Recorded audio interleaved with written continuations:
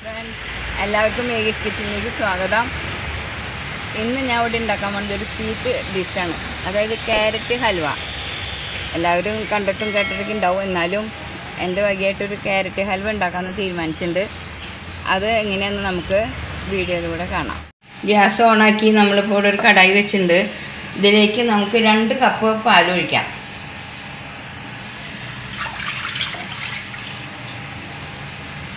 രണ്ട് കപ്പ് പാലിന്റെ ഒപ്പം ചേർക്കുന്നത് രണ്ട് ടേബിൾ സ്പൂൺ മൈദ.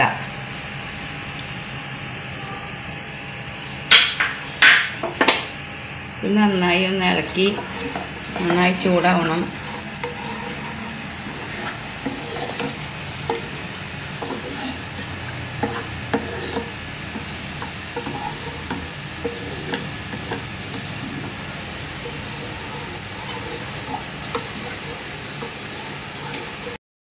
ഇപ്പോൾ പാലും മൈദയും കൂടി ഇവിടെ നന്നായി ചൂടായി വരുന്നുണ്ട് ഇതിലേക്ക് മുന്നൂറ് ഗ്രാം ക്യാരറ്റ് ഗ്രേറ്റ് ചെയ്തതാണത് മുന്നൂറ് ഗ്രാം. അത് നമുക്ക് ഇതിലേക്ക് ഇട്ട് കൊടുക്കാം.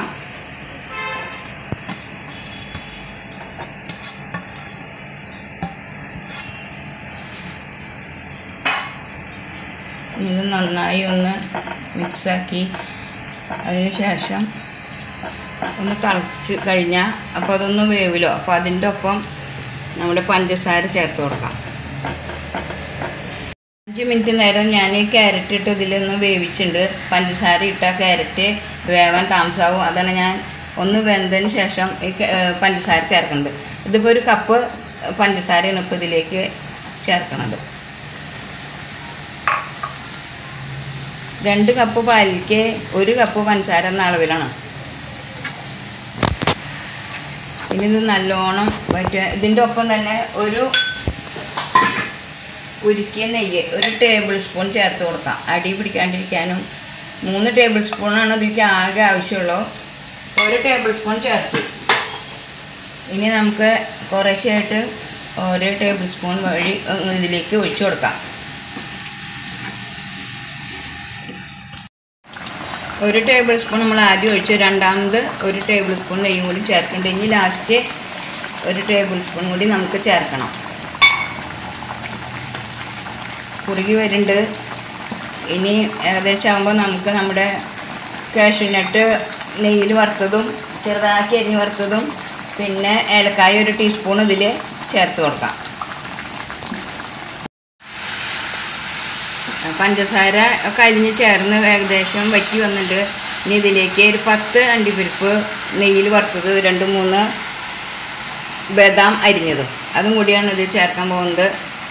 പിന്നെ ഏലക്കായ ഒരു ടീസ്പൂൺ പൊടിച്ചത്. അത് പഞ്ചസാര കൂട്ടിയാണ് പൊടിച്ചേക്കണത്. അതാണ് അളവ് കൂടുതൽ അത് കുഴപ്പമില്ല. ഇനി ഇതിലേക്ക് ഒരു ടേബിൾ സ്പൂൺ കൂടി നമ്മുടെ ബാക്കി നെയ്യ് ചേർക്കാണ്ട് അതും കൂടി ഇതിലേക്ക് ചേർത്ത് കൊടുക്കാം. ഒന്നുകൂടി വലിയിച്ചെടുത്ത നമ്മുടെ ക്യാരറ്റ് ഹൽവ ഇവിടെ റെഡിയായി.